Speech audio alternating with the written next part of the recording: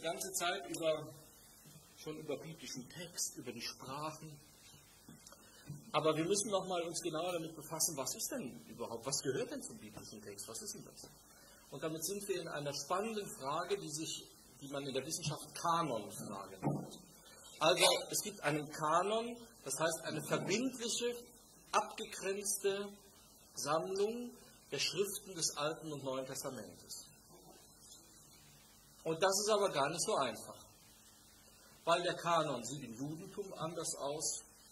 Klar, der Judentum hat natürlich kein Neues Testament. Ja? Aber das Alte Testament des Judentums ist anders als unser Altes Testament. Die Sammlung der Schriften der Kanon unterscheidet immer noch die Konfessionen, also reformierte Kirchen und äh, katholisch und Ostkirchen. Wo kommt das her und was gehört dazu? Wer legt das fest? Und wissen wir, was dazu gehört? Stellen Sie sich Folgendes vor. Wir machen eine kleine Zeitreise. Wir gehen zurück, sagen wir mal, 1500 Jahre. Und dann finden Sie irgendwie so eine alte Kiste hier, vom Speicher, von Tante Magda oder so.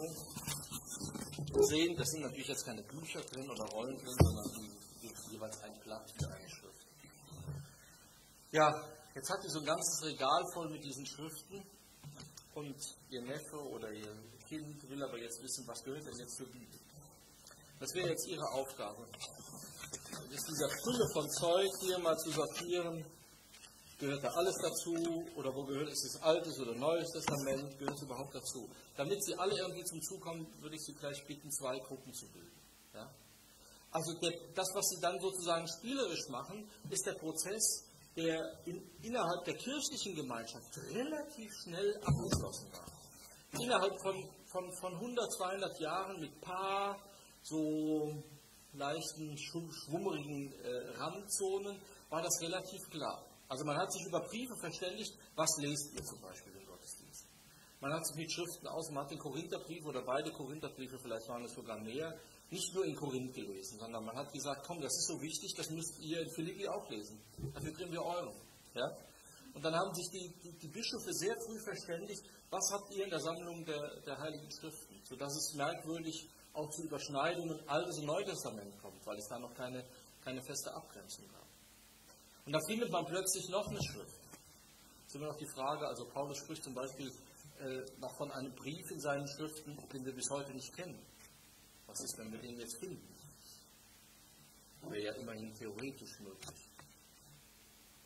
Solche, solche alten Kisten stehen heute noch überall rum. Leider so eine, so eine ganze Kiste mit den biblischen Schriften ist, äh, müssten wir irgendwie vielleicht noch finden. Aber das ist gar nicht so weit hergeholt. In, in, als die, die Mauer gefallen war, also nach 89, hat man doch in, in der Freistaat Sachsen natürlich viel daran gesetzt, auch die Klöster, die es gibt, auch solche, die noch Bestand hatten, da waren ja nicht viele in der DDR, ähm, groß herauszuputzen und Landesausstellungen zu machen. Eine unter anderem bei den, bei den Zisterziensernonnen in Marienstern, im Sorbenland. Ja, das war, war immer so unter ferner Liefen, das war von der DDR fast vergessen, weil das eine komische Eigenheit war, von, von der Sprache angefangen. Die, die segelten so ein bisschen da im Windschatten. Eine, eine Zisterzienserin-Abtei, die nie aufgehoben war, interessanterweise. Und dann hat man dann bei, der, bei dieser Landesausstellung, wurden da Exponate gezeigt, wo man nur staunen konnte, auf welchem Speicher die Nonnen sowas noch hatten. Also nur zur Beruhigung, im Haus St. Clara in Burbach stehen solche Sachen nicht. Ja? Meines Wissens nicht. Da stand auf jeden Fall eine Kiste herum, eine ziemlich große Kiste. Und der Landeskonservator ging da durch mit irgendeiner Schwester oder irgendeiner Obernonne, die da das Kommando hatte. Und stolpert über die Kiste und sagt, was Schwester, was ist da drin? Ja, die gehört nicht uns. Ja, die gehört nicht Ihnen. Das ist Ihr Speicher, wieso gehört die nicht Ihnen? Nein, die gehört den Schweden, hat sie gesagt. Gehört den Schweden. Was für Schweden? Ja, weiß ich auch nicht. Das, hat, das hatte diese Schwester, das wurde in diesem Konvent so weitergegeben. Das war von den Schwedenkriegen stehen geblieben. Wirklich, die hatten klar, das gehörte den Schweden. Da haben die irgendwelche Madonnen geraubt, da kamen die tollsten Exponate heraus. Ja, es ist, es ist verrückt, ja. Es gehört den Schweden, sagen sie. Und die, die Frage, was für Schweden? Die waren am Rückzug, haben eine Kiste stehen lassen war ihnen zu schwer, was weiß ich. Und dann haben die gesagt, wie man, wie man dann Nonnen einschüchtert, ja zu sagen, ich komme nächste Woche, hole die Kiste ab. Ja? Gehört in Schweden, 400 Jahre, gehört in Schweden. Ja? Gott sei Dank wussten die Schweden das nicht mehr. Also. Also solche, also dass man solche, was ich damit erzählen will, dass man solche Funde macht, ist, äh, ist nicht so weit hergeholt. Ja?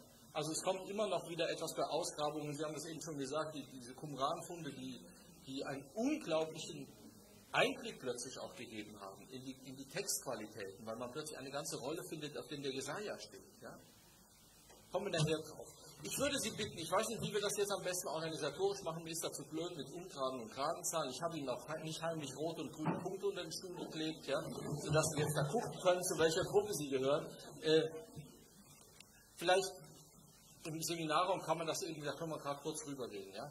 Äh, vielleicht wenn eine Gruppe, vielleicht diese Hälfte des Hauses, einfach geradeaus rüber in den Seminarraum geht, Sie bekommen keine schwedische, aber eine andere Staatsruhe mit. Sie haben Zeit, Augenblick, Sie können das auch ein bisschen ausdiskutieren, nur nicht handgreiflich werden, aber Argumente können Sie tauschen, dass wir uns um Viertel nach zwei hier wieder treffen mit dem entsprechenden Kanon. Dankeschön. Sie dürfen das hier machen. Okay,